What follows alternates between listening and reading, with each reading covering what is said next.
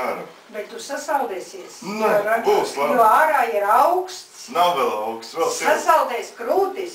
Nē. Es tev uz tīšu šaudu droši pēc. Nu, tagad nāk vairāk te teikumu. Vajag, Nevajag, vajag dēļ. nevajag. Esi pieredzējis cilvēks. Vo, satīstam kārtīgi. Augšausums, tas Jā. jau pa daudz. Ārprāt, man jau vēl apsmies. Nē, nē, tik. Kur tu dēls iesi bez atstarotāji?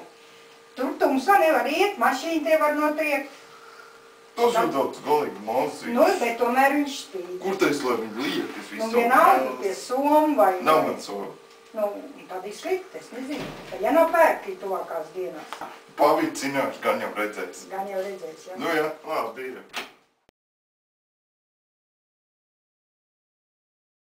Labi, un mēs ejuši pie meitenes. Nu, tu skaties ar tiem meitenēm.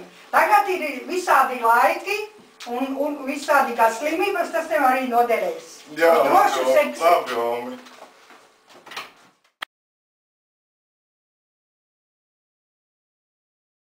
Ak, Dievs, cik viņai netieši lācis šai sievietei ir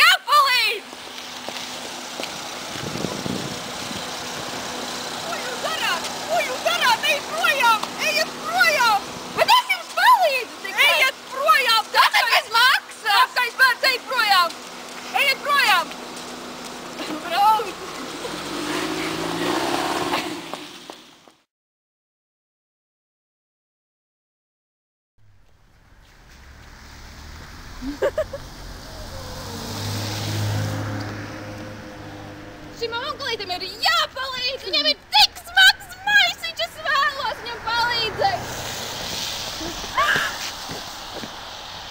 Onkulīt, onkulīt, es jums palīdzēšu panest to maisiņu! Viņš ir tik smags! Viņš ir... Es jums neatņemšu, es jums pa veltā aizsīšu mājās! Es tagad palīdzēšu! Nu, lūdzu, onkā! Sasodīts!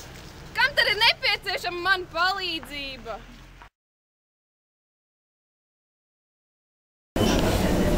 Čau!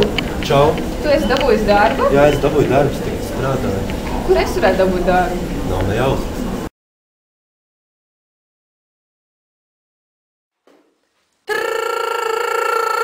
Es vēlreiz mācīties. Tā, tagad man ir rītīgi daudz brīvā laika. Ko es varētu padarīt? Es vispār gribu iestāties kādā latviešu klubiņā un iemācīties dejot tautudējas. Es gan gribētu iestāties kādā teātra pulciņā.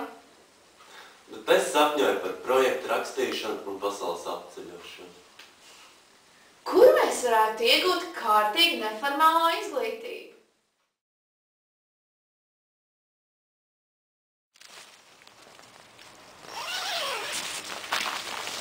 Ah!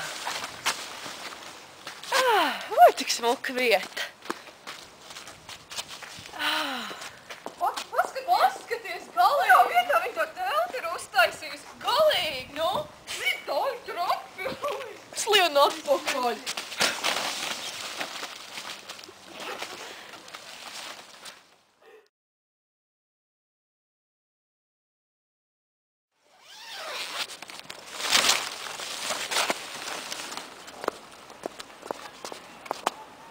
Atkal viņa to telti ir uztaisījusi. Es tieši kaut kam sūdzēties. Nu, bet man Varbūt, ka patīk. jauniešiem, man tas ņemt telefonu. Jauniešiem nav kur uzcelt telti, viņi tur ceļ uz asfaltu. Kur tad, lai jaunietis talsos atpūšās?